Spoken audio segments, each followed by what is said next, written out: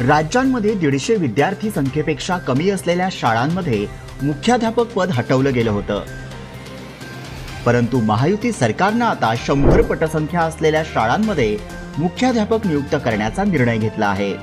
यामुळे शंभर पटसंख्या असलेल्या प्रत्येक शाळांमध्ये मुख्याध्यापक नियुक्त केला जाईल.